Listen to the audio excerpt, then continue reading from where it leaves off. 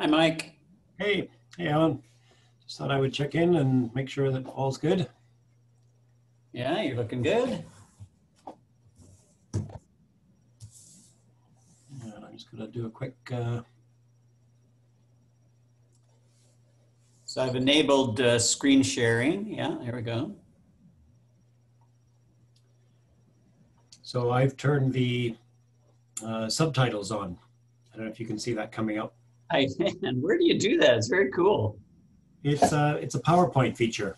Okay, I've got PowerPoint. So it's just something you enable when you're creating your presentation or something? Um, when you when you're doing it, Yeah. so I'm hoping it'll uh, work tonight, Yeah, that'd be great. and we'll give it a test anyway. hmm So yeah, I think all all is good. I will just uh, do the stop share there, and I guess I can just uh, wait by, and you reckon you got about ten or fifteen minutes of club business, and I will. Yep. Starting at seven. Yeah, that's right. So probably like 710, 715 would be ready to let you run with it. Yeah, sounds good. And I think um, what I suggest we do is I've got a few kind of break points in my my talk, Uh huh. and I figure I could kind of take questions at those points a little bit as well Okay, as sure. at the end. Sure, yeah, yeah. Maybe if you let people know that, they'll hang on to their questions for that. Or if they can't hang on to them, you can put them in the chat and you can just look at the chat at that point. Yeah. Yeah, it's harder for me to see the chat than it is. Um, I think, uh, let me just check here.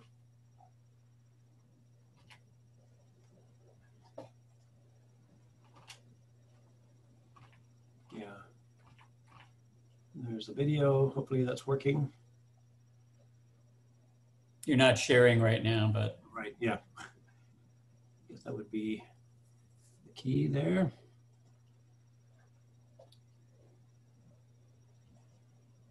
Yeah, that's working. Okay. Yeah, that's good. Okay, so, um, yeah, I think what I'll do is I'll just sort of stand by. I'll turn my video on and audio off for the moment. Okay. And um, wait till uh, we're ready to go. All right, sounds good. And uh, I'm going to record this. So then afterwards, what I've done is uh, I kind of upload it to YouTube and then I send the, the file to uh, Dave O and he can put it onto our site so people who weren't able to tune in can, can see your presentation. Yep. Sounds good.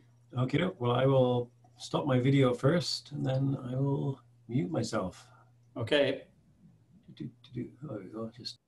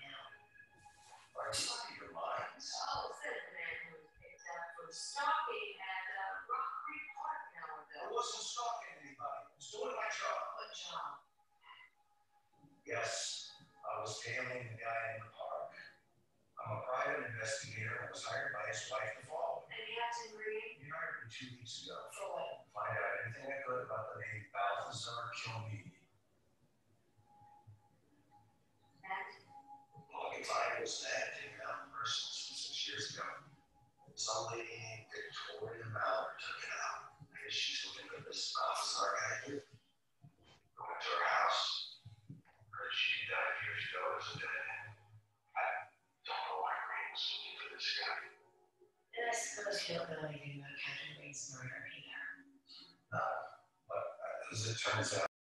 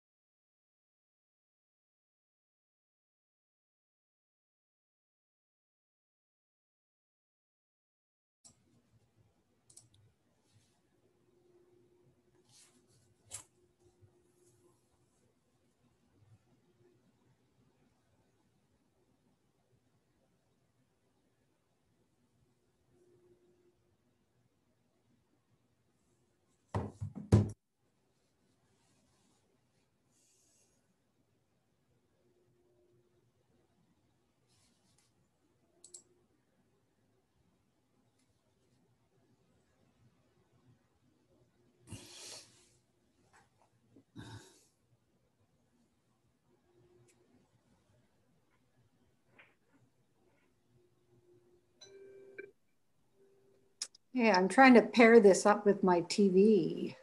Ooh, you techie, you. well, Diane Copeland's the techie, and I'm just trying to follow her directions, but so far, not so great. Hmm. Okay, now how? Let's try this again.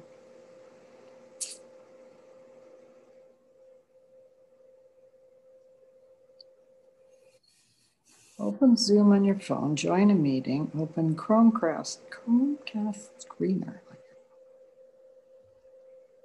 Okay. Might be backing out here again.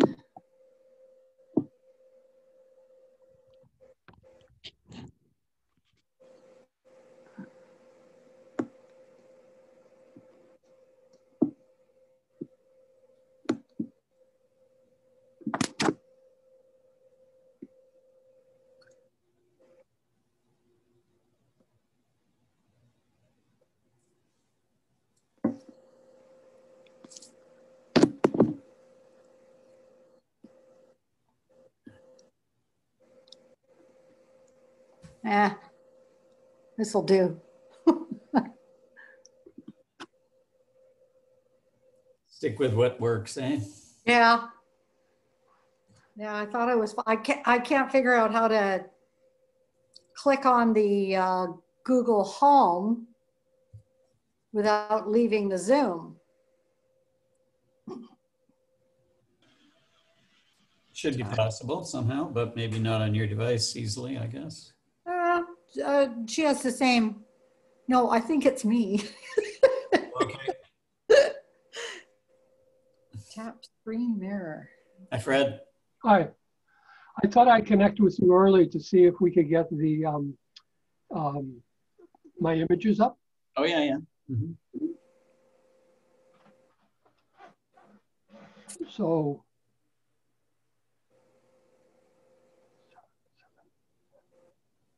Yeah, I don't see a button down here for me to take over.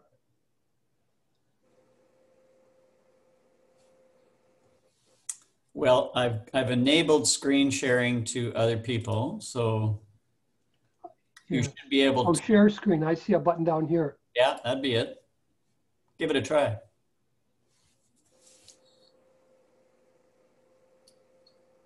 Yeah, you started. I can see a bunch of calendar pictures here. Can you see one in- in the center? Nope, I see about a dozen for all the months, I guess. Okay. I'm going to stop the sharing and try that again. Um,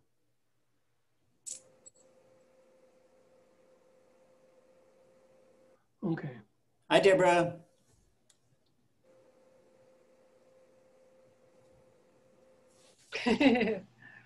He waved. I see Roger's hand. Ooh. Okay. How's that? Yeah, that's Alan? better. That's better. I see just the one. Uh, yep. Okay. Yep. Okay. I got it. All righty. Unless you're make it full screen.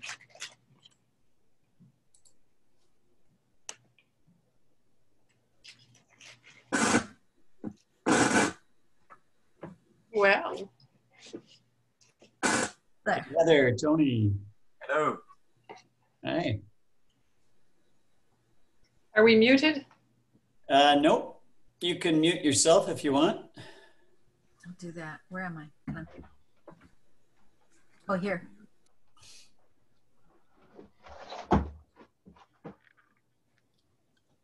Are you gonna sort of wink in and out again, Gail? Or uh, yep, there she goes. Oh, I am. Whoa, Yeah. Bye. Very cool. Do you like the picture in the background? Yeah, yeah, I remember that. It's at KO, is it? No, Oh no, no, that's um, that's in Sooke Basin. Yeah, that's uh, on one of our paddles there.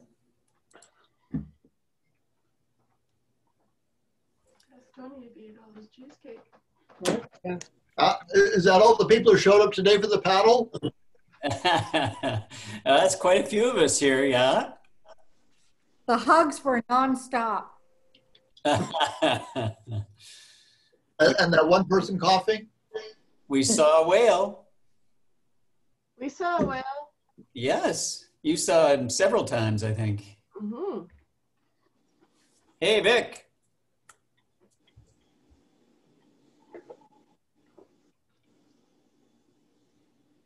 And some people had cake today.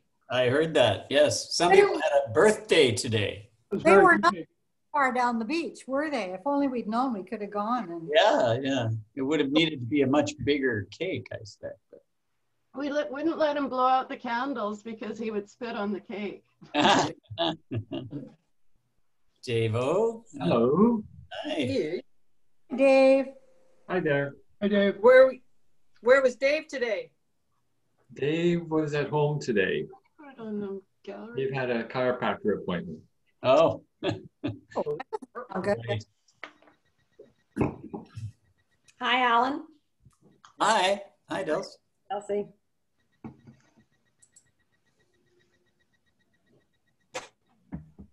A picture of Mike Jackson. He's not moving. No, he's uh, he's already checked in and we've tested things and he's gone off to do other things. He'll join us again about seven or I told him we'd be ready for him about 10 or quarter after. So he's all set to go though. Whoa. Susan. Nice.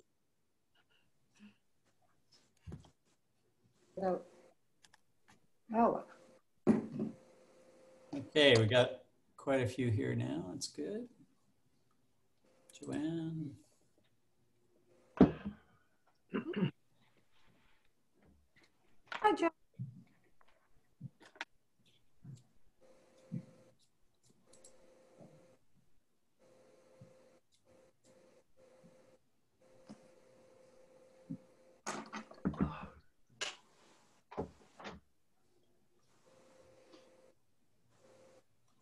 change the picture. You Put dead chickens or. I don't care what you do. I just noticed I have way more people on the screen this time. I could never get any more than nine before. That's good for the iPad. Yeah, I've got uh, 16. All right. But Twenty. I think there's a setting that allows you to have up to 49. Not on an iPad though. Yeah, the Oh, no. iPad Too small. or challenge. Yeah, yeah.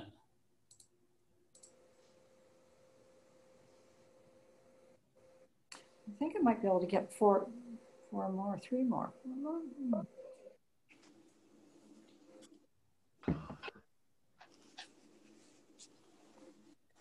Mm-hmm. Jane's iPhones six. Christmas lights up, anyone? Hello. Hello. Very nice. Busted. She's wearing red. That's Great. Oh. And hoping December 9th will be freed up to do a Christmas paddle. On the 9th. Oh, ah, you're getting into the early festis- festivities. That's true. I might be by myself though. Hmm. We got nothing on for Christmas. Okay. Ooh, at at a naturist resort? Yeah, that's what I was wondering too. Hi, everybody. Hi, Hello. Come look. Come look. Come say Hello, hi. Elsie. Hi. There's everybody. Hi. Put your head down so you can say hi. Hi, BJ. Hi, Jonathan Jonathan. says hi. Hi. I already heard it, Mike. I know. It's there's a few different slides, but not much. Okay, good. and it was good last time, guys. You're in for a treat.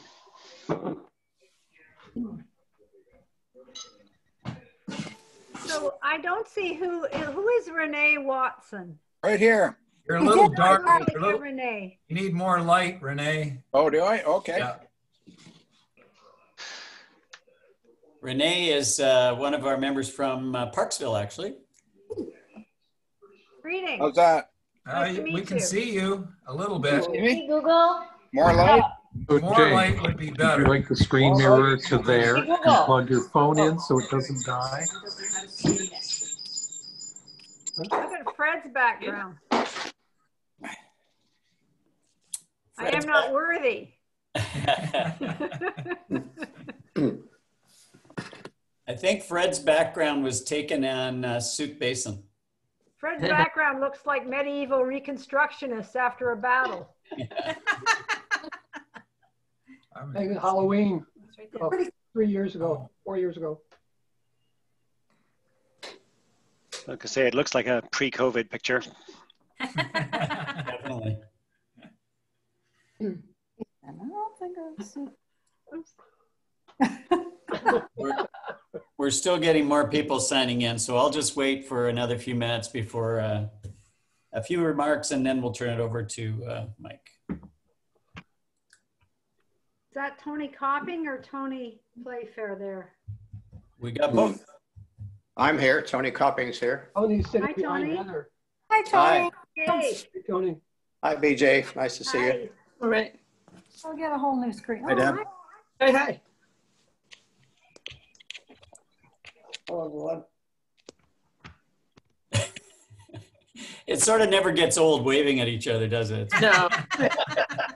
Oh, Susan, haven't seen you in a while? Hey.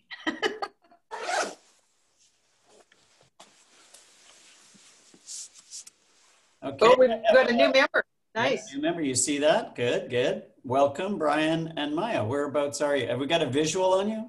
Wave. No, they have no visual. So far, we've just got a name on a blank thing. Yeah, yeah. Yes. Okay. No person. And Karen says, welcome. So yeah, you can use the chat if you want, or you can just, you know, wave. Okay, well, I'm not seeing too many more people coming in, so I'll, I'll keep admitting people as they arrive, but let's get started. It's after seven here. Uh, welcome, everybody. Um, I'm Alan Campbell. I'm your president right now. president by Zoom. It's a whole new experience. Uh, so this is, uh, I don't know, maybe our third meeting uh, by Zoom uh, for our club monthly meetings. And uh, what I want to mention right away, in case I forget, is we normally don't have a monthly meeting in December uh, because we have a Christmas party and everybody's Just put a note in. Christmassy thing. Say, hi, everyone. It's our first meeting. Hi.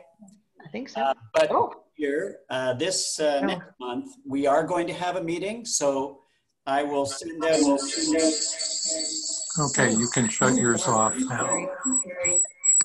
There's a little feedback. If you, if you, you might want to shut, you want to shut your microphone on. Microphone on. Okay, so uh, I was saying that uh, we're going to have a meeting next month. It'll be December 9th, which is a Wednesday. It's uh, the second Wednesday of the month, uh, just so we're not crowding Christmas too much. Um, but anyway, we will have another one of these calls then. And I mention it because I want to plug a bit uh, the person who is going to give a talk at that and uh, people, and that's uh, Eva Keen and Patty Stevens of Go Kayak. And they're going to talk about their trip from Port Hardy around the Capes and down to Tofino. Wonderful trip. And if you know uh, Eve and Patty, you know they're a lot of fun. And so I'm sure it'll be a great presentation. So remember that, and I will be sending out a notice um, and for the Zoom meeting as well. So that's just so I don't forget it. Uh, there were a couple other things, one of which is Fred Pachalski, who's on the call here, wants to talk about a calendar. Fred, over to you. You need to unmute, Fred. There's, I just did. Can people see the screen that's just come up? yeah, Okay, I've um, in the final stages of putting together the official um, Siska calendar uh, for 2021, and um, it's going to go for sale. Um, I'm waiting for um, a sale. I get it printed by the same group every year, Vistaprint, and I wait until they um, have a sale and knock the prices down to half. Um, any profits that we make um, go to charity. Last year was um, Power to Be. Um, we'll decide on next year's once we see we- if we how much money we get. Um, because I haven't ordered the calendars, I don't know the final price, um, but it's going to be somewhere around twenty dollars. So I'm just going to go through and show you a few quick uh, pictures. I especially Sure. like January. That's a Jane Jasic. That's that's a Jane picture. Yeah. So, um, so some of them are um, individual pictures, some are composites, um, but it's a pretty neat calendar. Um, money goes for profits or to um, non-charity. So um, I will ask people. It'll be in the newsletter, but I'm going to ask people to please send me an email at uh, Gail's email address which is Gail Miller at shaw.ca.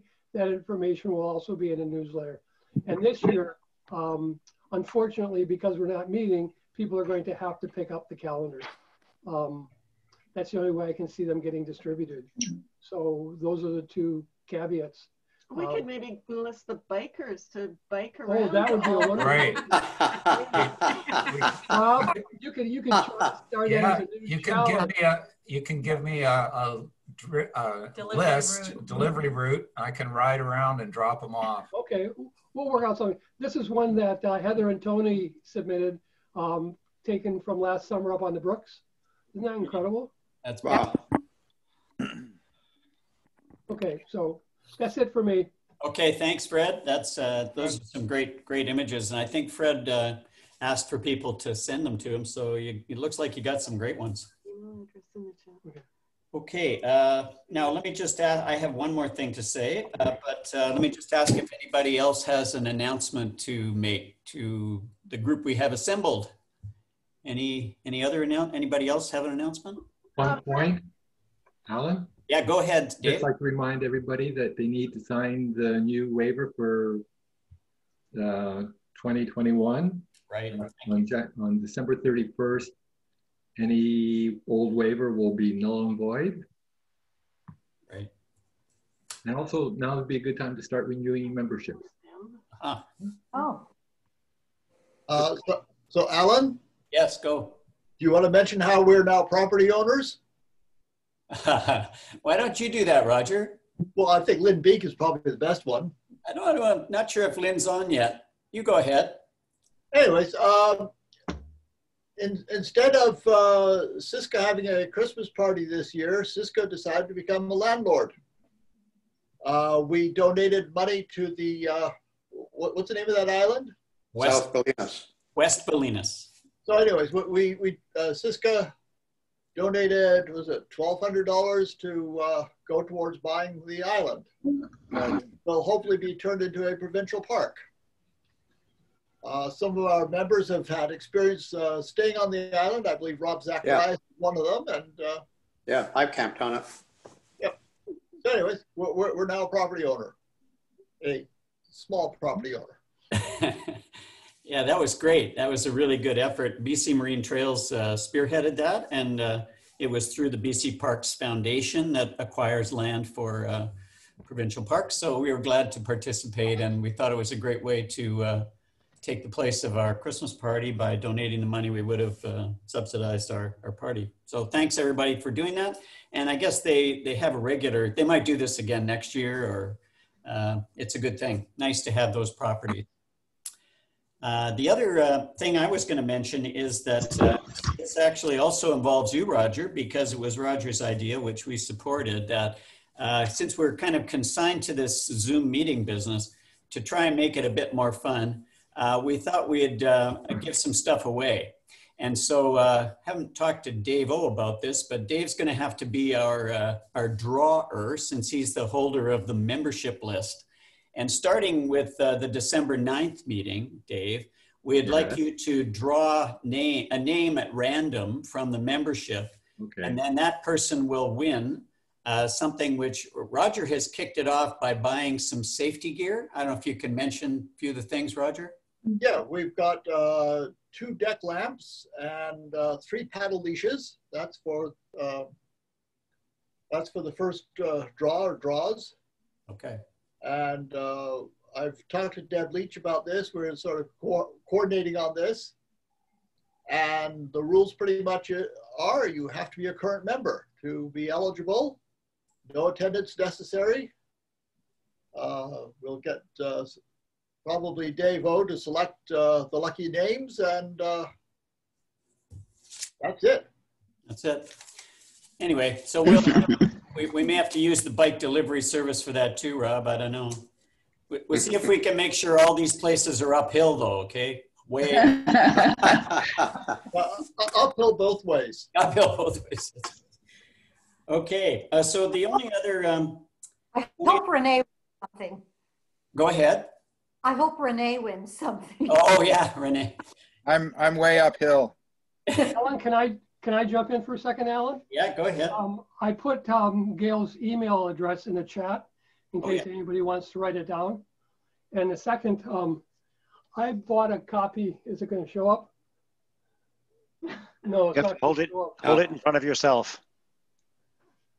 Oh, no. Oh. Yeah. Anyways, um, Cheryl Alexander's um, Takaya, Takaya, the book, and I'm going to donate it to our library. Okay. So, um, where is the library? Do we have it? Oh, library's in our basement. So Library's in three boxes in our basement. So, um, anybody wants to um, order a calendar and you can have it. Uh, one more, Alan. Yeah, yeah, go ahead. Uh, the uh, Santa's Anonymous. You wanna Yes. talk about that, since you know more than I do about it. Yeah, so uh, we uh, we also agreed that we would gift uh, Santa's Anonymous. That's the charity that we have um, we have given money to before. We would gift them with monies which Beth Haysom uh, took the initiative herself to raise just from individuals. It wasn't really um, our club, and it wasn't our club monies. It was just people who uh, she managed to buttonhole, like me, for instance, uh, to contribute money and in return get a rainbow colored IKEA bag. you may see some of these IKEA bags which are very colorful. And if you see one, it means the person who has one has No.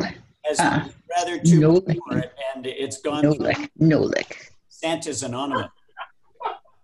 So uh, that's that's uh, the story about the uh, Santa's Anonymous. They've been uh, given, I think it's close to six hundred dollars. Am I right there, Roger? Uh, I think about 580, something like that. Five hundred and eighty dollars. So kudos to Beth. Kudos to Beth for uh, figuring out how to do that. And I don't know if you know that Beth is uh, in England right now looking after her 98 year old mother. And uh, so we don't have a chance to say thanks uh, directly, but uh, I will uh, send her an email and uh, convey to her our appreciation as uh, she was the one who got that all started. So Alan, are you taping the presentation that she could maybe receive if you could send it? Yeah, yeah. I uh, Tape it. the whole thing is being taped, even these unscripted comments. So mind what you. They'll love that. Yeah, it's going to be in glorious video, and we will actually uh, put that on the website. I uh, takes a bit of time, but I can I can get Dave O to post that up on the website. Uh, not too long. Uh, just one more thing, and then I'll get Mike going here, and that is to tell you that. Um, and I want to mention this again on December 9th when Eve is, especially when Eve is with us, uh, because uh, we sadly didn't get our spring training going this year. It, it got canceled because of this pandemic. And of course, uh, things aren't looking very hopeful right now, but uh, I'm ever hopeful. So we are planning spring training for 2021. And uh, it would be in March, about mid March through to May. Uh, and I've got uh, five different suppliers. These are the commercial uh, companies that we work with. Uh, Eve at Go Kayak, we've got Ocean River, that's Gordon Brown.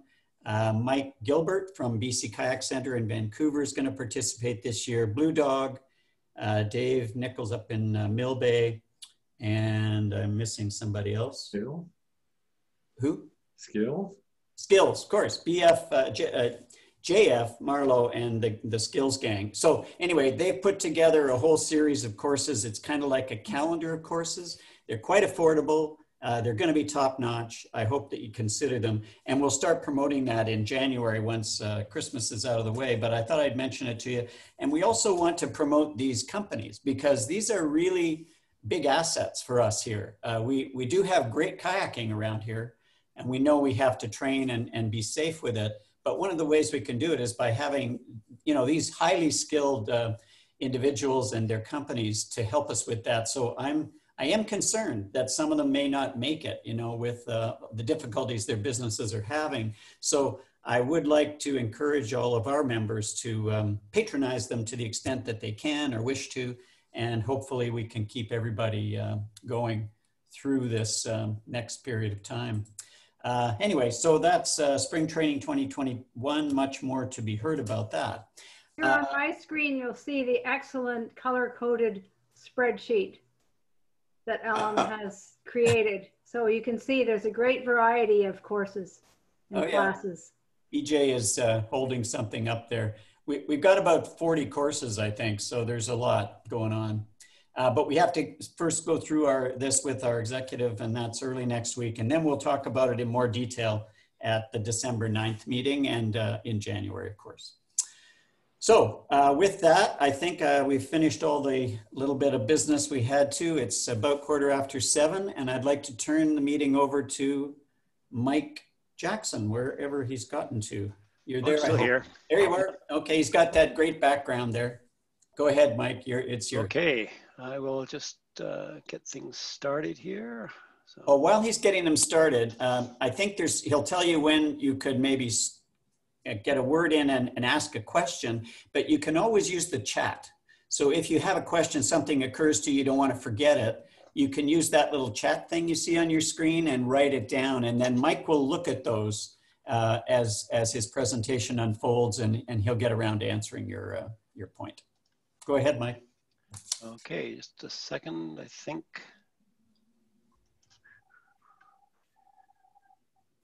I think. Does that seem to be a slide there for everybody? Yep. Yeah. Okay. So um, back in August and September, I um, joined a, a group that uh, spent up to six weeks on the central coast uh, cleaning up parts of the outer coast of the Great Bear Rainforest. And um, the presentation I've got here will take about an hour and I've got a couple of spots that I'd like to stop and take questions because they, they kind of breaks into natural um, divisions. And I say lots of photos in here. Um, a bunch of them are my own, but also uh, friends of mine, Jeff Reynolds, Simon Ager, Sarah Hauser, Jackie, Jackie Wind, and, and a few others have all contributed. So um, without further ado, I think, let me see if this is gonna work. Uh, let me just, okay. Okay, um, so I want to kind of give you an overview of what the Great Bear Rainforest is, and then talk about this project that's called the Marine Debris Removal Initiative, and then show you some of the stuff we found. So um, where is it? And you can see this entire area on the screen, hopefully shows you what we call the Great Bear Rainforest. It's essentially the entire coast from kind of North Vancouver Island up to the Alaska border. So this is uh, Great Bear Rainforest, or part of it, on one of the river estuaries. And it's called the Great Bear Rainforest, but I think it should also be called the Great Salmon Forest. And the reason is that the salmon are basically what drive the ecology of this forest.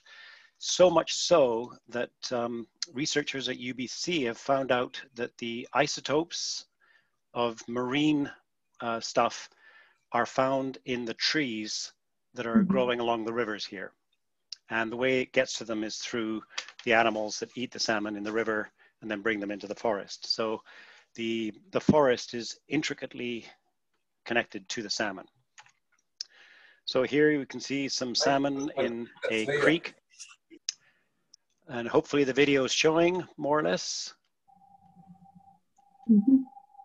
And here, this is in a creek aptly named Salmon Creek near uh, near Klemtu. And we've got five five species of salmon on our coast, mm-hmm. and uh, they all spawn in various parts of the Great Bear Rainforest. Some of them have two-year cycles, some of them have six or seven-year cycles, and they all differ in you know when they spawn and where they spawn and how often they spawn. Or sorry, uh, how how many years in their cycle. And the, the key thing is that they're putting these eggs into the, into the creeks, which uh, overwinter and hatch in the spring to uh, go back into the ocean. And then they spend anywhere from say two to, two to six years in the ocean. So here you can see some spawning salmon. And once they spawned on this coast, unfortunately, the, the Pacific salmon all die. And and in the process of dying, they end up fertilizing the areas where they uh, where they tried to spawn. And the animals are all over. These are um, uh, Bonaparte's gulls on the coast here, and you can see that they're all um, waiting for bits of salmon and salmon eggs. Here you can see a Steller's jay uh, with its spout uh, beak full of salmon eggs. And Steller's jay, by the way, is BC's provincial bird. A little pine marten. This was on uh, Gribble Island in the central BC coast. And we got a little grizzly bear on uh, Coutts. Just a few more shots of grizzlies because they're cool. and uh, this is one I saw last uh, last fall up in the Kitlope. Oh, by the way, there's a lady up at UVic who is in the process of uh, putting together facial ID for salmon, which I think is, sorry, for bears, which grizzly bears, which um, hopefully will enable better management and better understanding of where these bears move to. Then we've got black bears. This one is on uh, Riordan Creek on Gribble Island. And one of the things that the Great Bear Rainforest is well known for is the spirit bear or the Kermode bear. And here you can see somebody taking a photograph of one of the bears. This guy is called Boss on Riordan Creek.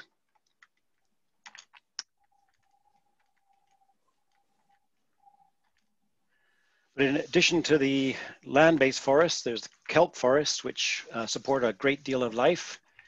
And um, this uh, shows the ochre, ochre sea stars that used to be very, very common and are coming back in several areas of the coast. And I was actually very pleased this, uh, this past summer when I was up on the project to see some areas where the uh, ochre stars were really coming back. Of course, uh, sea otters are found up and down the Great Bear Rainforest. And these guys here um, are probably one of my favorite things to see on the outer coast of the Great Bear Rainforest, the humpback whales. And throughout the, the area, you often will see them diving as they are feeding on krill or on um, herring. And one of the really cool things about humpbacks is the variety of their tails, and the tails are um, are unique to an individual. There's, uh, I think I can put my mouse over here. This one is uh, called Galen, and I think uh, I don't see Zorro. Oh, there's Zorro, is up there. Um, so several of them have names, and if you get get pictures of the tails, you can upload them to a site called Happy Whale and if, if somebody else has taken a picture of that same whale, you find out their, their, their whole history. And um, I've done that for several of these whales, and these whales have been sighted going back to 2004, both in Hawaii and in the Great Bear Rainforest. So um, kind of a neat example of uh, what we can do with computers and the internet. Another important whale on the outer coast is the fin whale. And the fin whale is the world's second largest uh, whale. It's also the fastest of the whales. Mm. They can swim at up to 45 kilometers an hour. And uh, one of the things that I also enjoy about seeing these whales is that the orcas, the fin whales, and the humpback whales are all whales that I see up in BC, but I also have seen them in the Antarctic and in the Arctic. And of course, the iconic uh, killer whales. These are some residents that were seen in uh, around King Island, Dean Channel. And from your boat, you can often see the uh, porpoises, or the, these are Pacific white-sided dolphins, and also porpoises, Dall porpoises, coming right below the ship. And uh, they, they love to surf in the, the bow waves of the ship. We also have uh, sea lions. These are all uh, Steller sea lions on, uh, near Ashdown Island in the, just south of Campania. And you can see a large male. And uh, this is the ship that I work on, the Cascadia, in the background. And another iconic species of the coast is the uh, coastal wolf. And this one was on Campania Island that we saw last year. And he proceeded to walk right in front of us, pretty much not caring about us. And then he swam right between us and the ship as he went from one side of the inlet to the other. And um, last but not least, on the Central Coast, we have several First Nations. Um, the project that we were involved with um, involved uh, at least five of the coastal First Nations in both getting permi permission and also doing some of the cleanup. And this is the inside of the big house. That was, sorry, by the way, was the outside. Um, in Bella Bella, they just completed this big house and had a potlatch to open it um, mm -hmm. October of last year. Okay, so before I move on, um, I can take questions on. You can ask me oh, anything. Oh, shush. I need to turn my computer. My um, Google must have decided. So if anybody's got any questions about the Great Bear Rainforest before I move on to, I can't see the chat right now, so. Um, oh, maybe I can. No, I can't see the chat. There's just a comment that Jeff Reynolds' photos are stunning.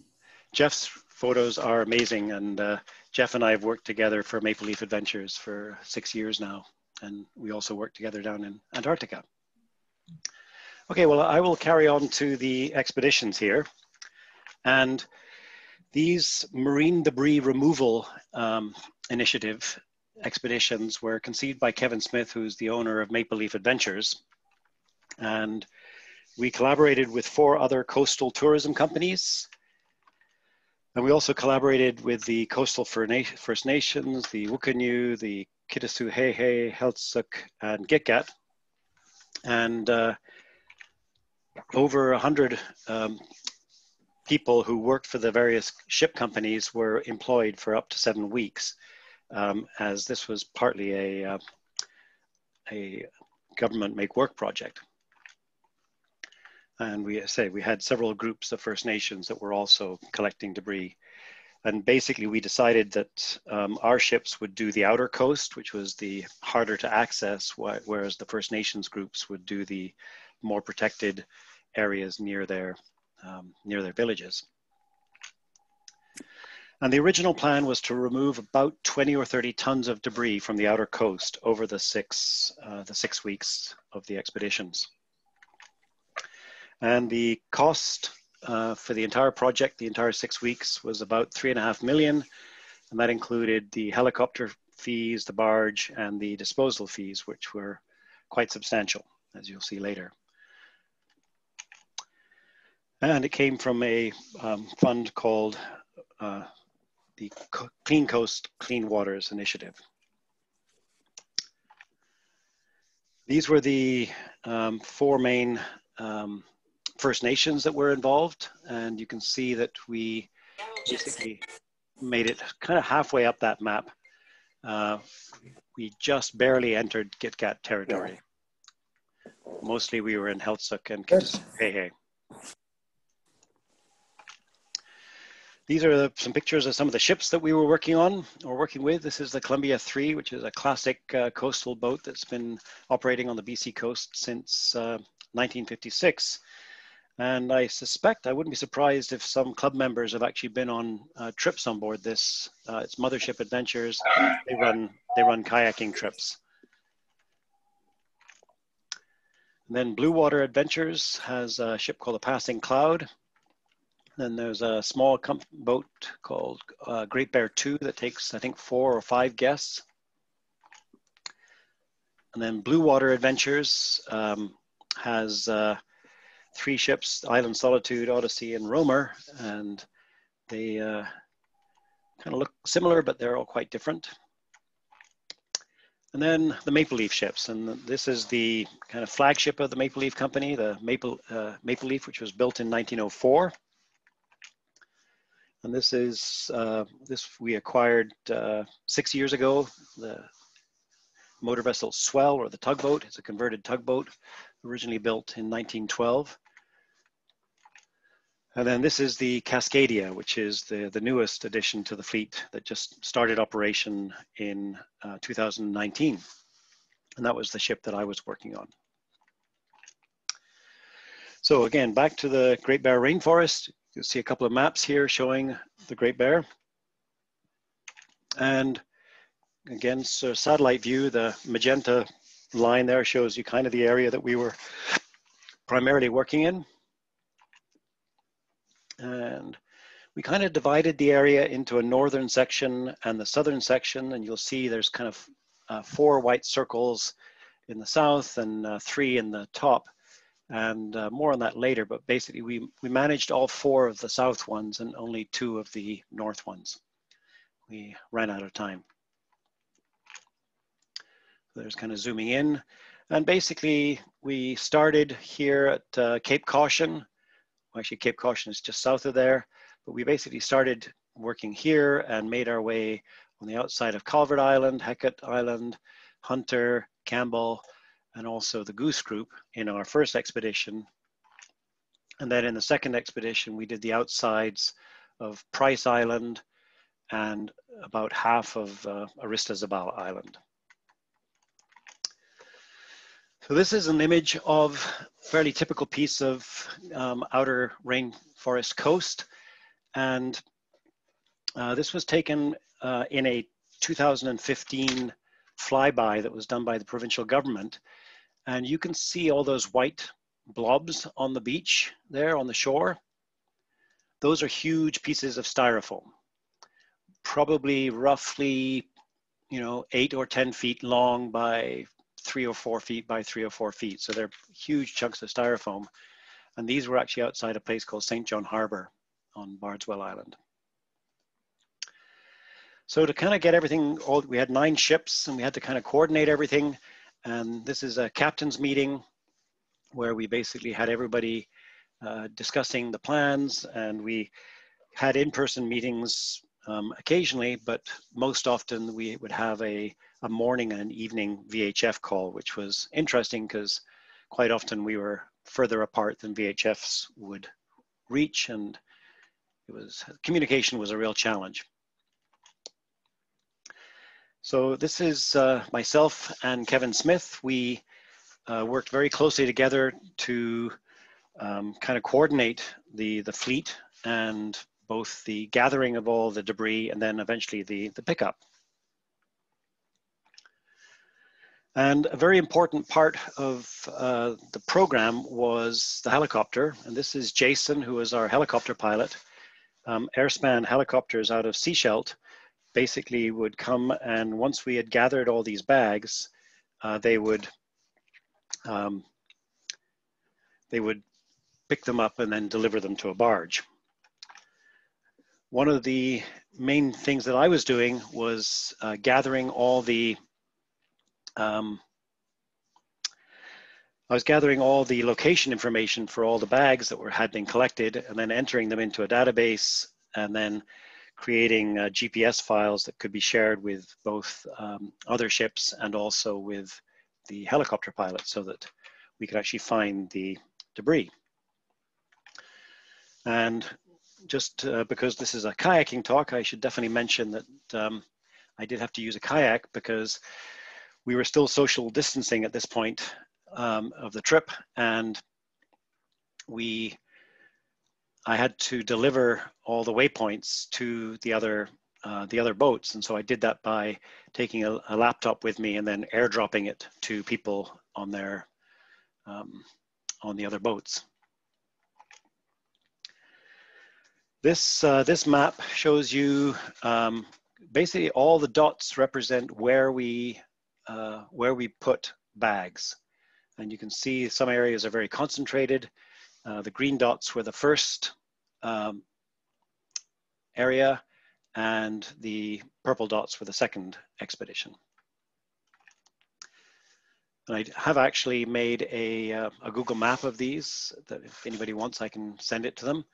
But uh, it shows you, you can zoom into the details of all about 450 bag sites that we created. So the process, oops, I'm just gonna see if I can get something here. I don't know if I can clear, oh, anyway. Um, so the, the first phase of the process was gathering the debris and then we would weigh the debris and, and bag it and make sure that um, the bags weighed less than 300 kilos because that was the maximum that the helicopter could pick up.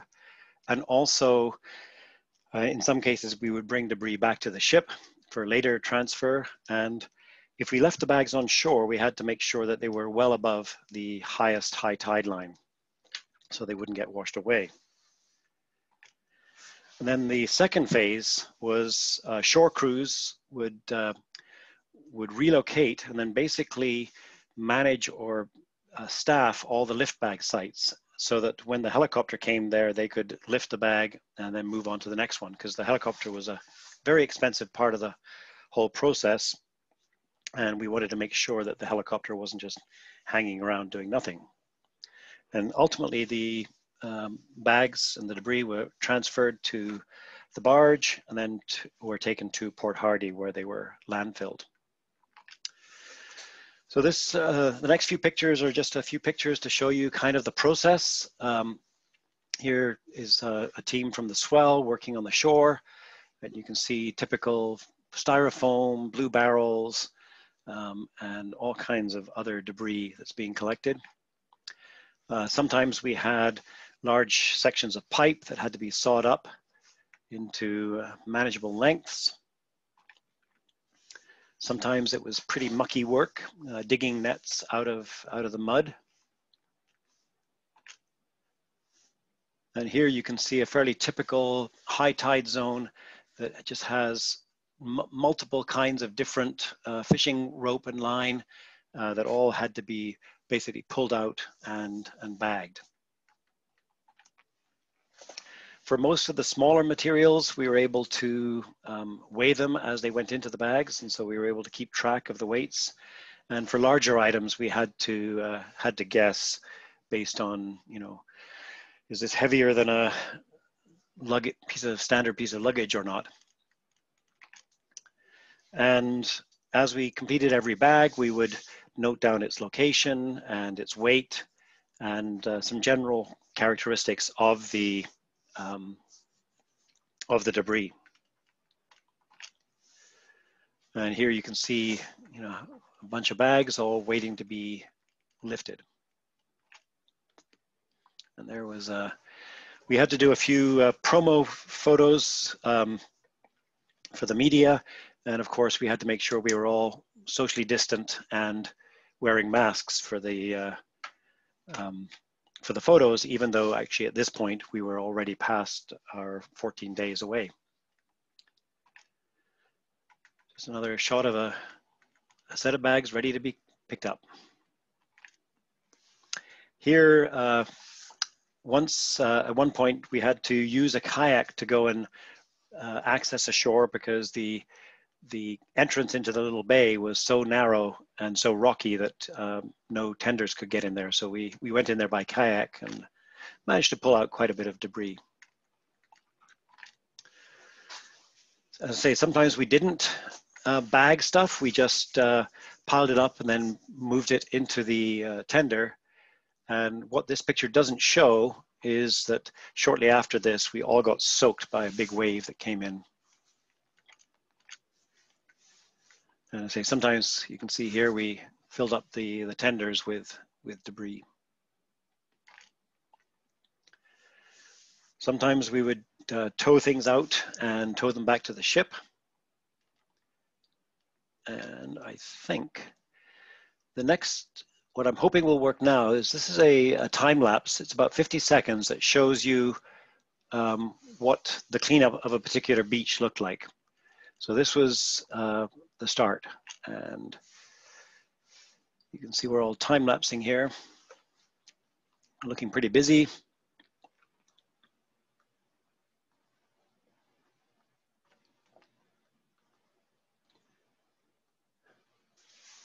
One of the things that we found was if we could see one piece of debris on a log jam, we basically knew pretty much that we had a bag's worth of uh, material on that beach.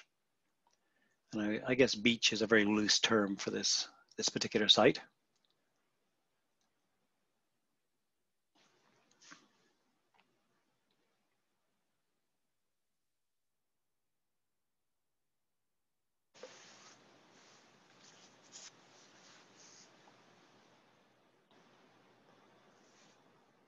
There we go. And so this was the Heiltsuk Horizon uh, barge. And so the, the barging company was 50% uh, owned by First Nations. And there was a crew of three on board the barge, as well as the helicopter pilot and his uh, safety officer. They did some training with us to make sure that we understood how the helicopter lift worked. And um, that we all had the right safety gear and, and so on and so forth and knew the, the hand signals and so on and so forth. And here's me set up for my first helicopter lift.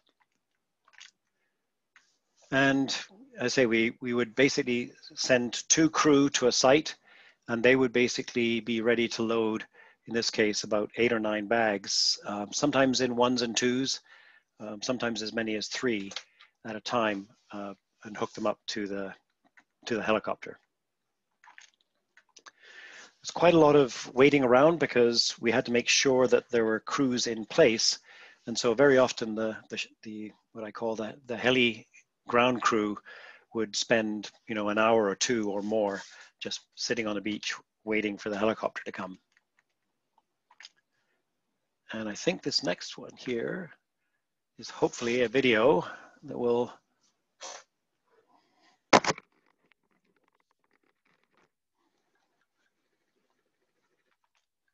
I need to change this, sorry.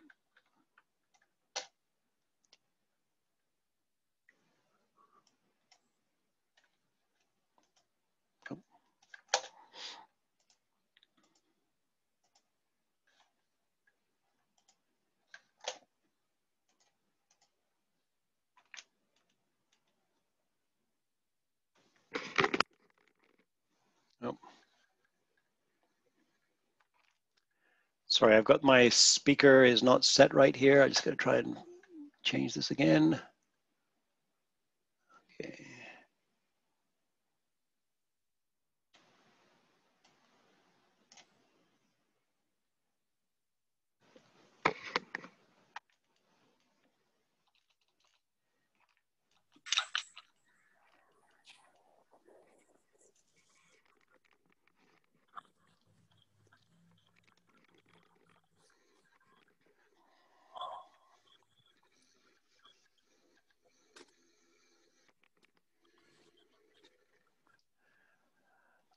Sorry, the audio is not coming through here.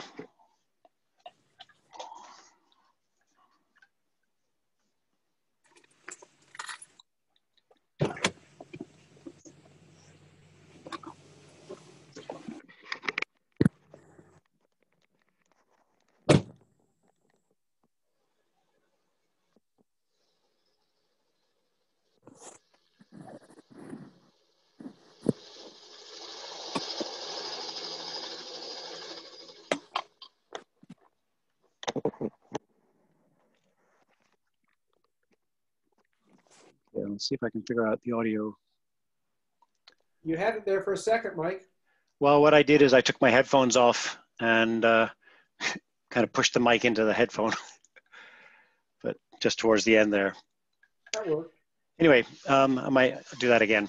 So this was our very first set of bags at uh, the Hakai Center, and we were very lucky that we actually started our operation at the Hakai Center because um, at the Hakai Center on Calvert Island, they have a, um, a Wi-Fi hotspot that's available. And when the pilot arrived, he had a, a, a weird GPS that um, we didn't have the drivers or the software for, but I was able to download and install that and get it all figured out using the, the Hakai Center's Wi-Fi. But these were our first bags uh, being lifted off.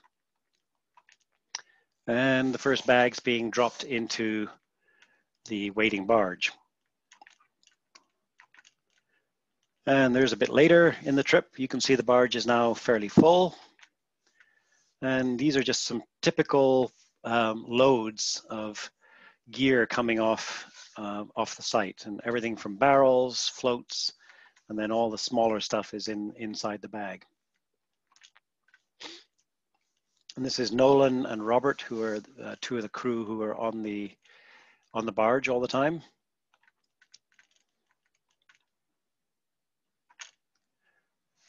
And that kind of gives you an idea of what the uh, tug and barge and helicopter looked like as a as sort of a, an operation. The pilot, uh, Jason, is just amazing. He was able to essentially uh, pinpoint where he wanted to put a bag and would drop the bag exactly where he needed to.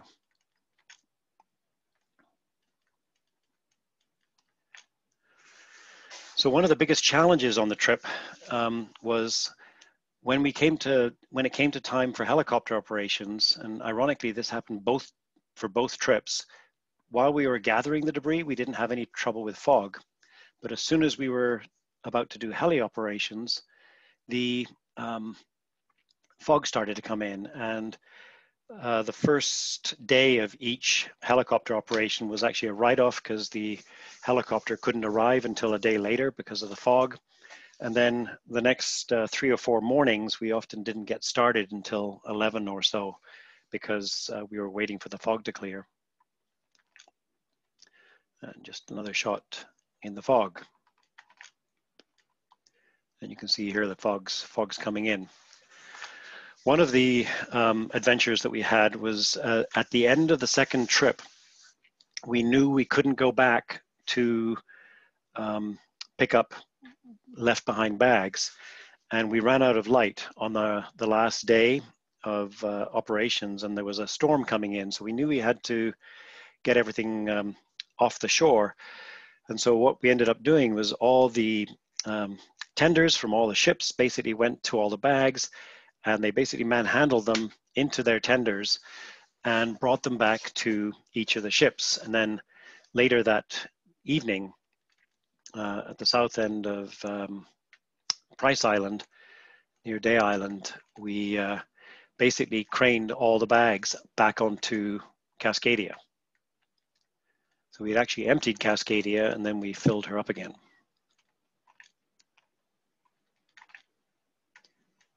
And here you can see a large uh, aquaculture float being uh, craned up. And then that's what it looked like the next morning. So you can see that was the, the aftermath. Those were all the bags that we couldn't pick up by helicopter on the first expedition, sorry, for, on the second expedition. So what we found, we found a lot of fishing gear and uh, you'll see some more of that. A lot of rope, everything from tiny to huge.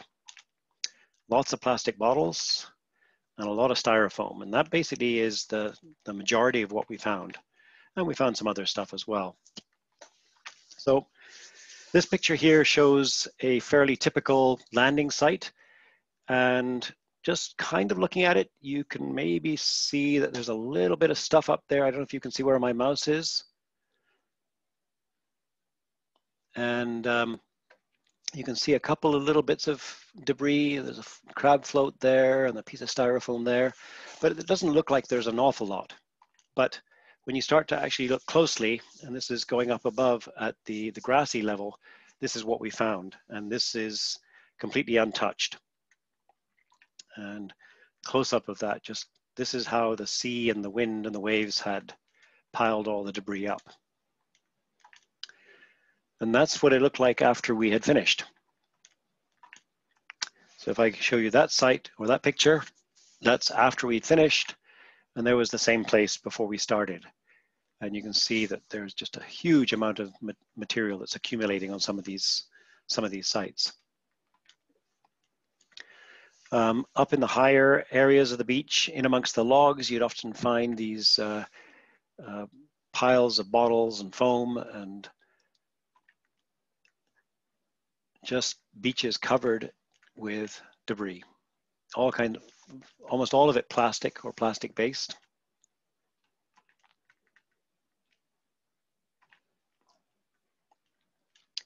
Some uh, fishing, a lot of fishing industry material, a lot of fish nets.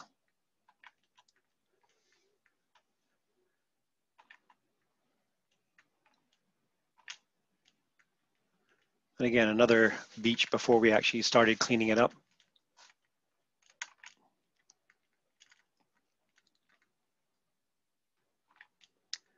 And you can see here looking into a bag, um, this is showing you kind of what's a typical bag full of stuff. You can see rope, you can see bottles, you can see foam, uh, a few containers, and uh, looking inside another bag. This was a pretty typical these were to me very very typical bags of material. You can see part of a, a, a croc there as well. I think it was a left foot. And here you can see bags piled up on top of the barge just giving you an idea of the uh, amount of gear that was attached.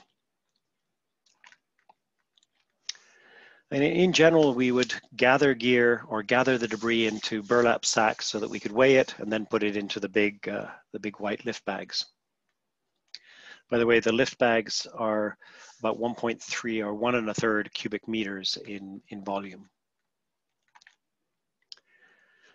Lots and lots of fishing gear, and most of the fishing gear um, was from afar, from the other side of the Pacific. And there you can see, you know, the size of all the fishing gear attached there is actually more volume than the, the two white bags.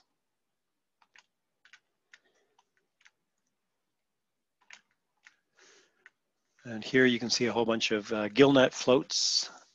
I think these are um, used regularly in, in Japan. These styrofoam floats were very, very common. Then these smaller floats, also uh, probably from Japan. And we found a lot of crab trap floats. And one of the things that I found interesting there was that the American crabbers all have to label their traps with um, the year and in some cases the boat, uh, the boat name. Um, so you can see the uh, this one here, ODFW, Oregon Department of Fish and Wildlife, and the the ship name, Pacific Pride, and also the year. And then the, that's a Washington one, but we found them from Alaska, Washington, California, and Oregon.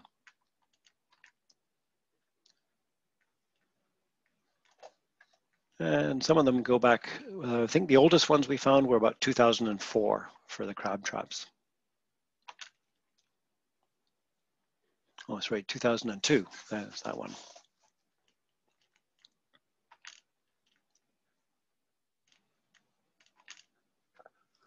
Now BC's crab floats are uh, different in that they don't have a tag, they just have a, a, a license number. And so this would be a typical BC crabbing float. We found so much in the way of uh, fishing nets and these fishing nets both um, while they're floating in the water before they get on shore they're uh, often trapping wildlife and getting entangled in whales and so on and so forth but once they get onto shore they start to uh, break down and, and sometimes they break down and then float off again and then and it was very satisfying to actually get a net out because very often the nets were tangled in amongst the logs and we had to lever logs out of the way uh, to be able to get them free. And you can see here this how a net might have looked before we started to pull it out. And you can see that these have been there for a long time. We also found um, fishing uh, fishing buoys. These Scotchmen were from a large uh, Ocean Pearl, which is a, um, a ship that operates uh, out of Victoria. And just to give you an example of the amount of rope that we would find in some cases, here this one bag was entirely rope. And looking at this rope, you can see how it's starting to fray and as it frays, it breaks down into these tiny little microparticles, or, and uh, those wash back into the ocean and contribute to the microplastics issues. And there's another example of a typical piece of uh, hawser or rope that had been washed off and is just breaking apart into tiny little pieces.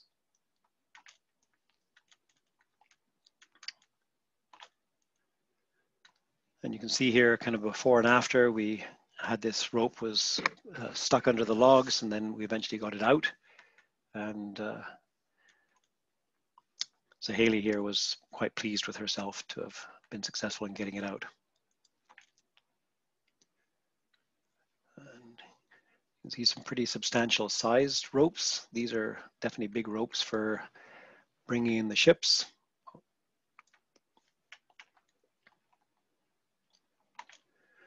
And plastic bottles. We had plastic bottles um, of so many different kinds, and they came from Russia, Romania, Greece, Vietnam, Korea, China, Japan, and also Canada. But um, most of the bottles that we found were not local.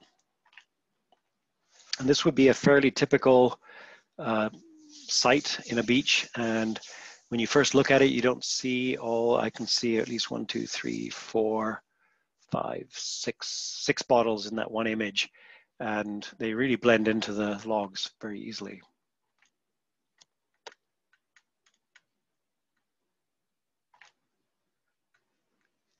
So this one here is from uh, Vietnam, from uh, China. This one's from Russia. This one's from, the middle one's from Greece. We've got Korean, liquor. And in many cases, the bottles had no um, writing on left on the bottle, but you could still see the caps and you can see the um, Chinese and Japanese writing on the top of the, the bottles. And I found this one and I thought there was a little bit of irony there with the uh, helping people and the planet. But uh, and that was actually one of the uh, Canadian items.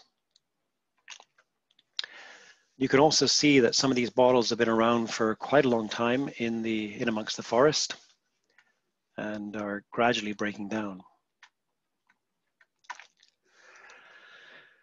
The other big item that we found, or the big part of what we found, was uh, styrofoam, and some of the styrofoam was in big chunks, like you can see here in the Zodiac, and other were small pieces. We had to uh, make a call fairly early on that we couldn't um, really pick up pieces that were much smaller than a, uh, a small fist because there was just so much of it in some, in some places. And here you can see a large, uh, we called it a foam berg because it was that big, a bergy bit. And we got it into the, into the tender and uh, brought it back to the ship and loaded it up. And you can see here, it was actually being loaded, ready to be lifted to the barge. And here you can see these large kind of barrel-sized uh, styrofoam floats. We saw lots and lots of these, I mean hundreds of these literally, and it wasn't until near the end that I actually figured out how they were set up. And you see this green one. And I think the next is a little video, and I'm gonna try and see if I can get this to work again.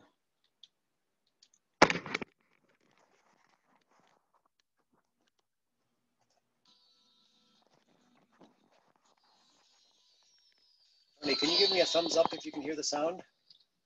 So much of this debris that we've encountered comes from the international fishing industry. So this lift bag or this lift net, which is going to be one of our last loads of the six-week expedition, has a classic example of these styrofoam floats. We've seen these styrofoam cylinders all over the coast. We've probably picked up several hundred of these during the course of the expeditions. But this one over here is an example of how they look when they're kind of in action.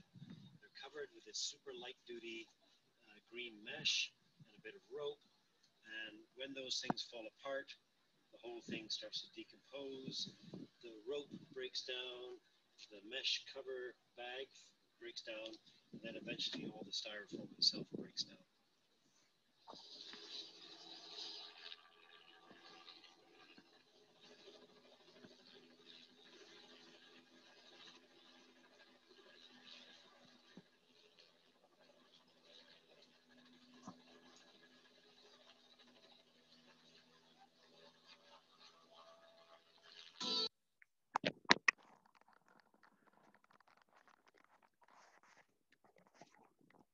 Okay, that little bag bag full of uh, foam that I, or that net rather, had six of those foam floats in it. And say we found hundreds of those foam floats that uh, most likely came again from Asia.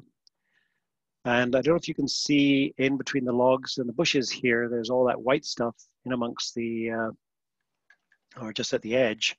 And that is all styrofoam. And so we started calling these uh, foam middens and again, just another close up of the styrofoam middens where there was just so much styrofoam accumulating. And again, you can see how some of this styrofoam has been around for quite a long time. I wouldn't be surprised if these two pieces here had been there for 15 or 20 years or so. And some of it's growing into the forest, or the forest is growing into it. And we found lots of other stuff. This was uh, piping that was pretty common, or fairly common, I should say. And we think that this was piping used to provide fresh water to possibly aquaculture um, operations. Sometimes we found these uh, dock floats. This was an unusual one. Um, a, it was either a water tank or a septic tank. I'm not sure exactly how you tell the difference, or maybe it could be either, but um, it was one of the larger items that we found and were able to successfully retrieve.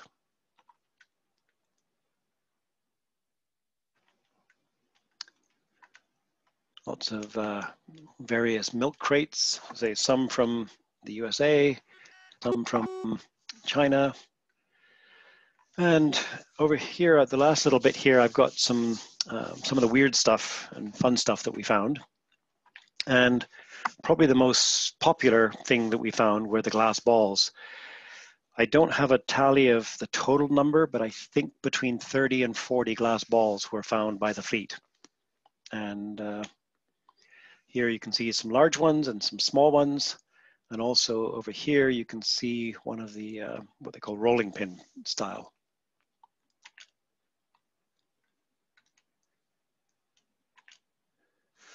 And we also found um, this one. This is uh, Eddie Savage, and he found one of these deep ocean balls, and they are found in a what's called a plastic hard hat. And they're designed to be able to go down to a depth of uh, almost six and a half kilometers, or six, yeah, six and a half kilometers, or 6,700 meters. And they act as um, part of an underwater mooring system.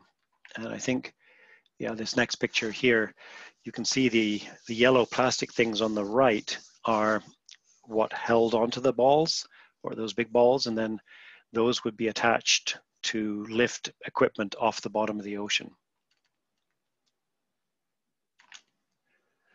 Uh, another thing that uh, we found, this was a, uh, a drift buoy. And you'll notice that there was an email address on here.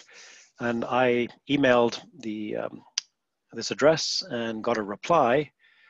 And uh, sure enough, this was actually a, um, a small, essentially science experiment where they were trying to study the, um, the current flow along the coast. And they would have a little spot device embedded in the top. And this was the track you can see uh, made by that particular one. It was uh, set off near Campania Island and it made its way all the way down past Aristazabal and then it stopped working here and then we found it uh, on the beach over there by that yellow bushman.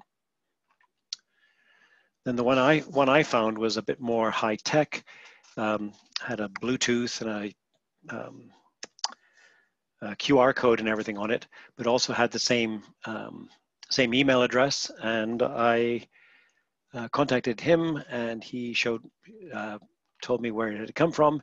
It had been launched off uh, Cape Scott, and it drifted down south of the Brooks, and then back up to uh, just out of Quatsino, and then it was actually found up here, sorry, up near um, the top of the image, almost uh, level with a goose group. And that's what they look like when they're uh, when they were set off. There's one of the uh, discs and there's one of the other ones. And then we found this weird thing. And this is uh, still actually in my garage. It's waiting to be sent down to uh, California at some point. And we had no idea what this was, other than we thought it was a weird science thing, and we called it Sputnik, um, for lack of a better name. And I got home and started to try and uh, track this down, and eventually found this picture, which thought looked somewhat similar. And after a bit more googling, found these guys, and it turns out that this is exactly what we had found, and it's a um, it's another current drifter that is designed to really stick with the water rather than the wind. The ones I showed you before were very much surface motion, whereas this is more the deep water because this goes down to uh, 50 feet or 15 meters. And they would also have uh, technology inside them that would allow them to transmit to a satellite and then eventually to a ground station. And here you can see the, this is a map showing you kind of the global uh, drifter array. So that this is where these kind of buoys have been put out um, around the ocean to try and figure out which way the oceans are moving. And it gives them maps like this that allow scientists to understand the, uh, the flow of the oceans. We also found this guy, this uh, particular piece of tubing and, or sorry, cabling, and we actually have no idea yet what it was for, other than it was probably some kind of a scientific communication cable, but we still don't know what it is. Um, there were a few things that we left behind. If the things were dangerous for us to pick up, like this barrel full of poison, we decided to leave that behind and just mark it and um, uh, identify it for the Coast Guard. Here you can see a blue barrel that was so deeply buried into the sand and under the logs that there was just no way we could get it. And there's another tire, again buried amongst the, uh, amongst the logs. And here we are near the end of the six weeks. And uh, this was actually the, the last bag lifting off the deck. And you can see here the barge uh, and Cascadia, and the barge there is full with about 70 tons of debris in that, in that picture. And for scale, there's a bunch of people down uh, sorry, down here you can see individual people at the base, and actually there's some people sitting on top of the pile there.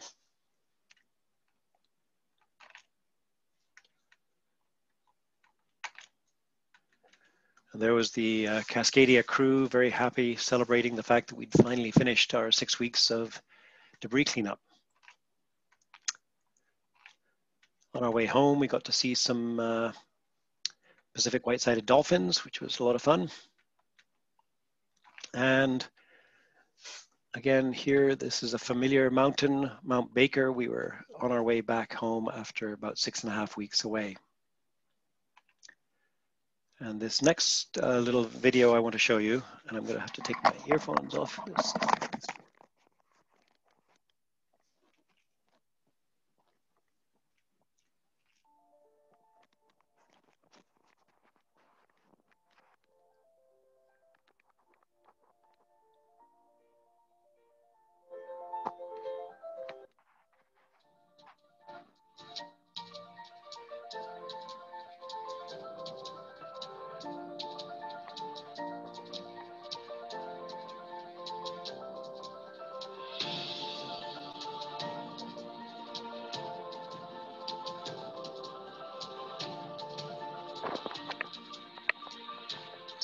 Faster version of the time lapse.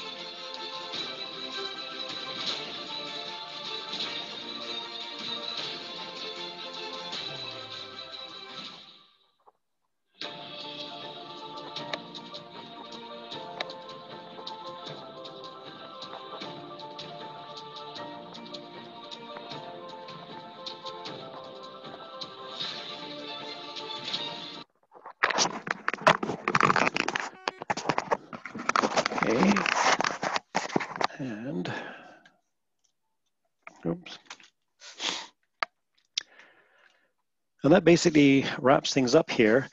Um, for me, the uh, on that video it said 641 bags, but that was the number of bags, but there were another 50 or uh, more than 50 bag equivalents that, uh, you know, all those hitchhikers that we saw attached to the bags.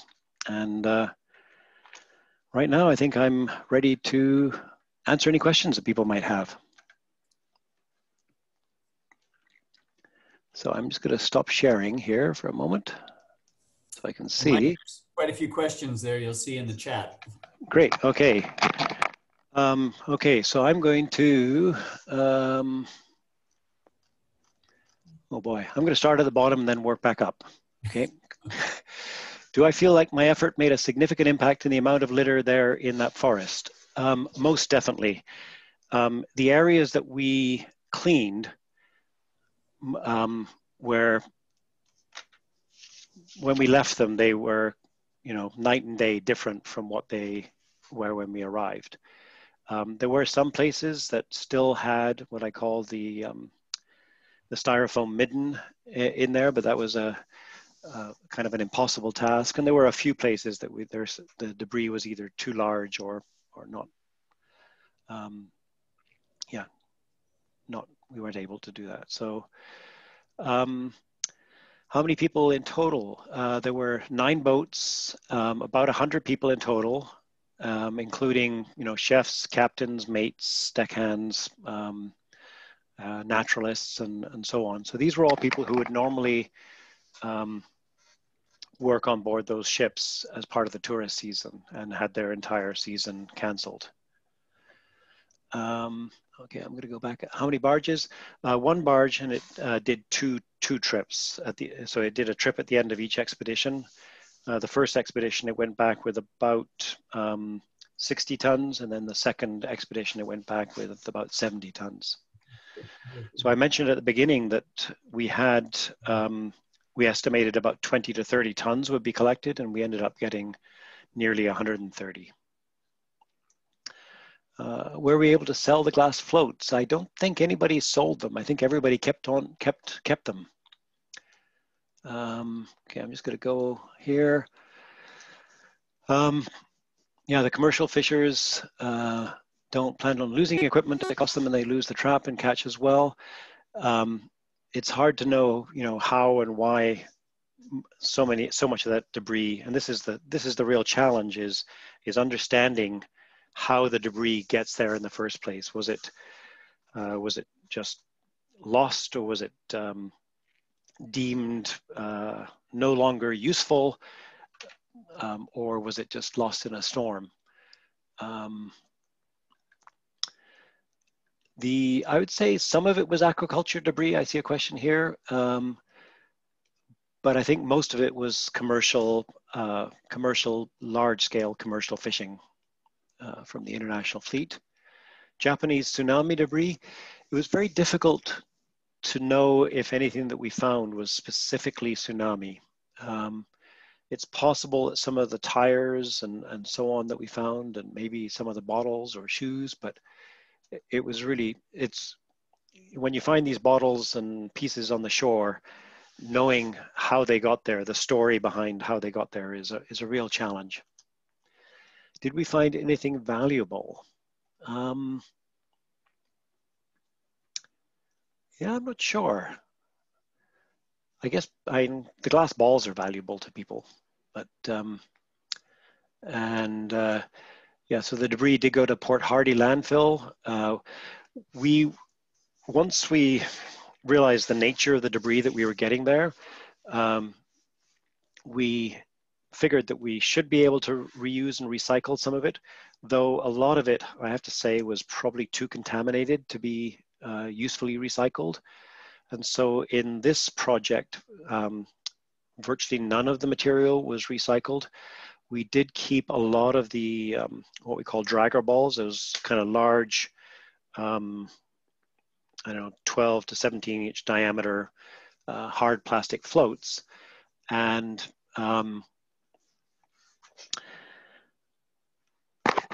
they they were actually given to the Heiltsuk at the end of our first expedition so that they could use them as part of their um, herring roe, sorry, herring roe on kelp uh, fishing program. So they basically would would you would be reusing those floats. Um, and da, looking at all those logs and wondering if there were any injuries. Um, I would say there were minor injuries. There were a few sprains. Um, but no no major uh, no major injuries. And did any of the bags break while being lifted out? No. The bags are actually rated for a thousand kilos, and the heaviest we made them were were 300. So the bags were plenty strong enough. Um,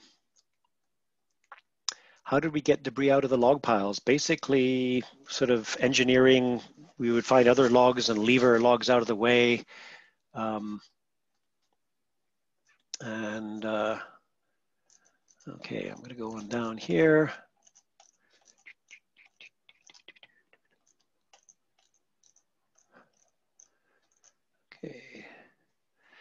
Um, are there likely to be future expeditions and how does one get involved? Well, in this particular project, it was uh, the way to be involved was that uh, we were working for one of the companies that was part of the project.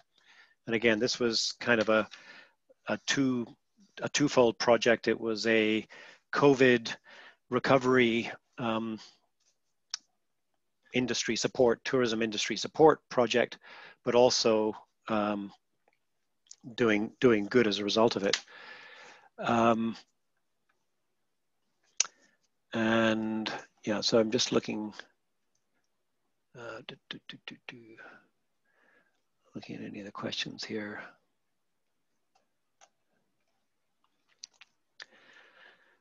Yeah, I think that um, one of the things that is is happening, and, and Jean has just mentioned this, that uh, new regulations are being developed to tag and identify gear, and that will certainly hopefully apply specifically to the to the BC gear. I think it's already uh, relevant to the US gear, but um, with the uh, what's the word I'm looking for?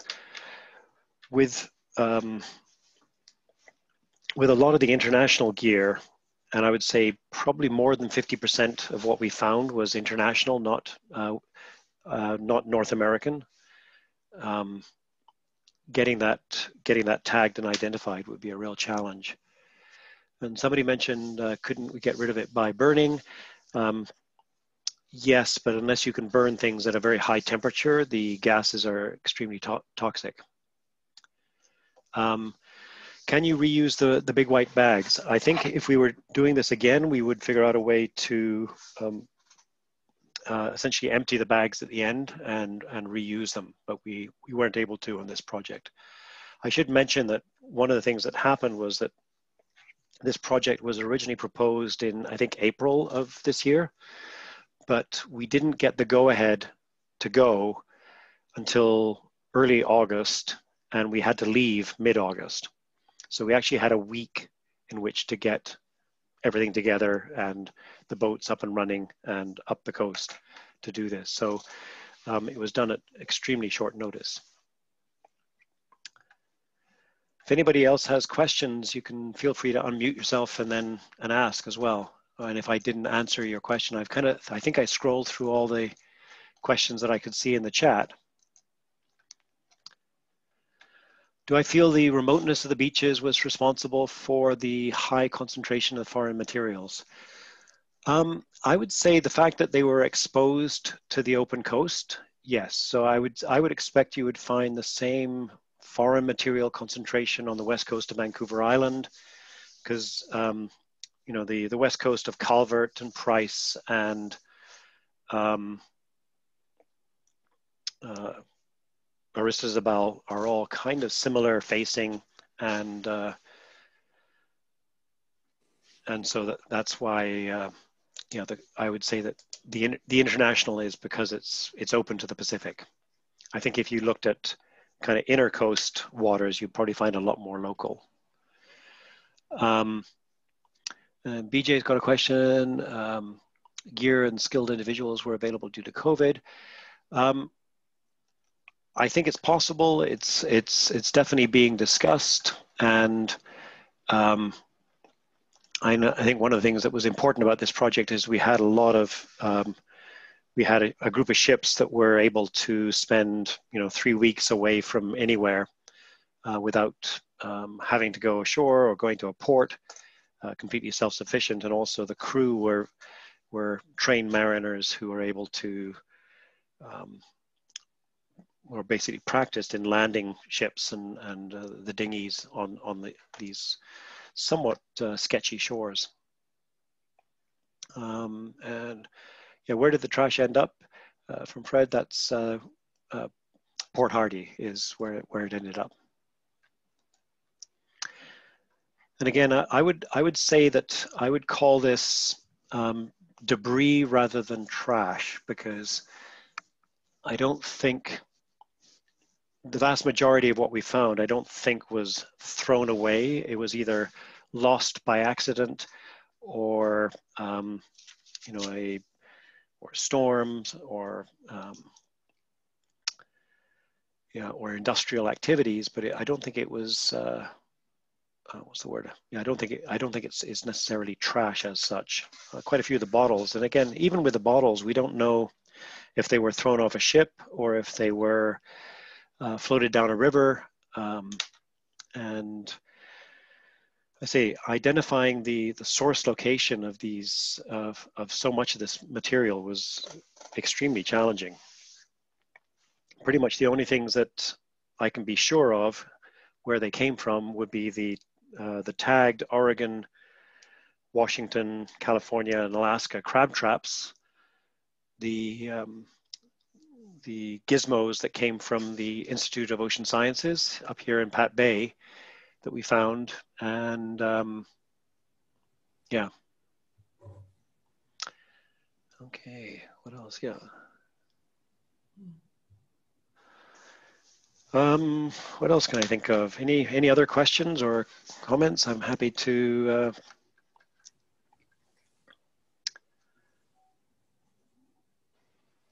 entertain any more questions, either by voice or by chat. Mike, do you know if there's kind of international initiative to uh, place an environmental fee on uh, fishing gear? I'm not aware of anything to that um, to that idea, though it's it sounds like it would be a fantastic idea. One of the things I actually wanted to mention is since coming back, I've um, I've looked at pictures of marine debris around the world, and what we see on our coast is pretty much the same that you see on the coast of Australia, pretty much the same as you see on the coast of Scotland in places. Um, pretty much anywhere in the world where you've got kind of open ocean exposed coasts, you're going to find debris that's very similar to this. So it's it is a global problem, and I would I would guess that over 50% of what we found did not come from North America. Well, that's why it'd have to be international, right? I mean, Yeah, yeah, and but I I think that you know. Um,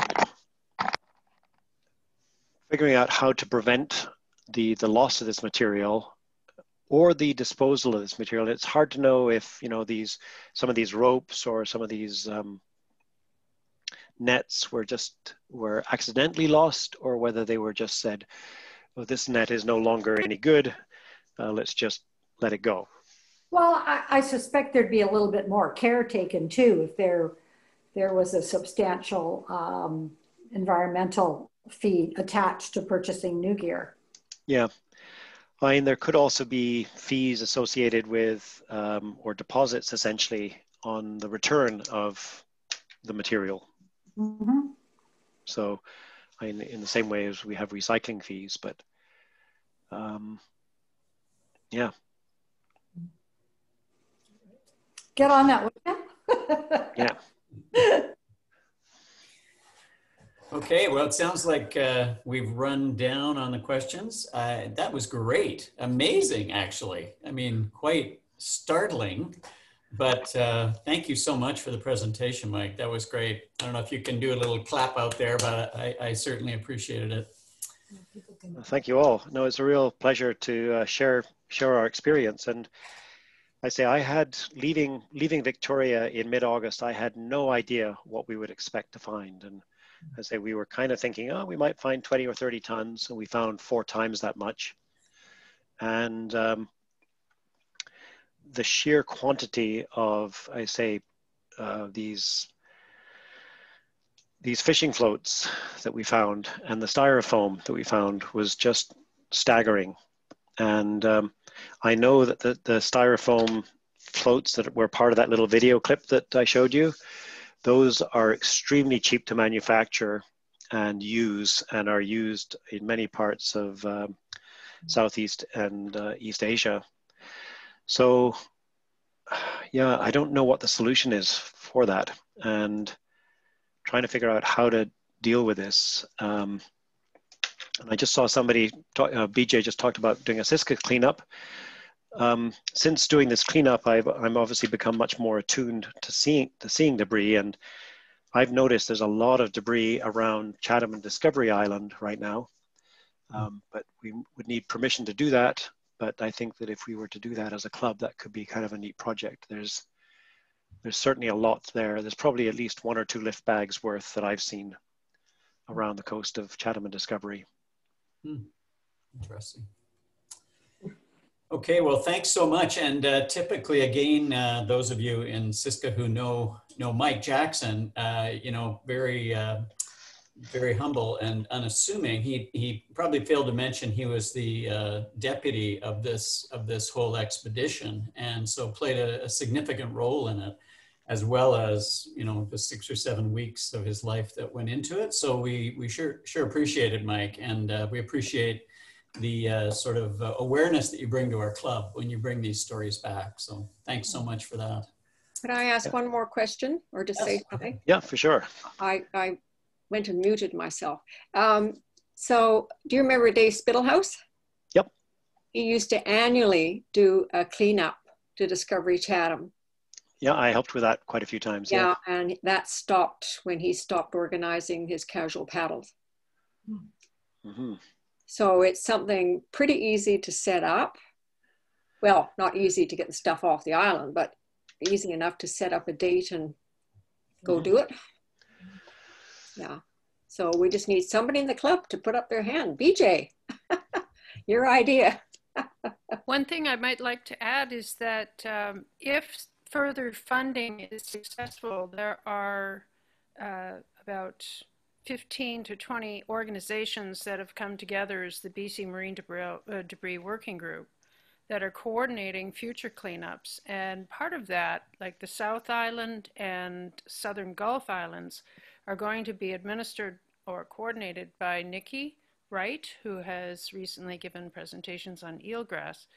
And um, it would be possible for local paddling clubs to become involved. I'm hoping with the people who are doing West Coast Vancouver Island next year to coordinate groups of paddlers to go out and help with cleanups because most of most of the um, uh, retrieval, which is a, the single greatest cost, is going to be handled by organizations that have the capacity to do it. So it's really making it a lot easier for people that have an interest to go out in their kayaks and contribute to a cleanup without having to then take on the responsibility of transporting the debris off the beaches and to recycling depots and so forth. So it uh, opens up a whole new opportunity for individuals to get involved too, providing that they have the uh, the skill set to go out to some of the more remote areas on the west coast or other areas around Vancouver Island. But that those initiatives are going to be taking place in 2021, all the way from Haida Gwaii right down to Victoria. Very good. Yeah. Yep. yeah. Okay. Well, I think we've uh, we've learned quite a lot this evening, and we probably have a bit of a challenge as well. So that's nice to have. Thank you so much for calling in. Uh, we hope that you get out there and uh, paddle, of course, in your own way, and uh, stay safe, stay well, and uh, enjoy, we hope, uh, some better times to come. We're all trying to be a bit more COVID safe right now. And remember, December 9th, we'll have a call again. So thanks again. Thank you, Mike. Thanks, everybody else. Thank you. Thank you. Thank you. Bye-bye.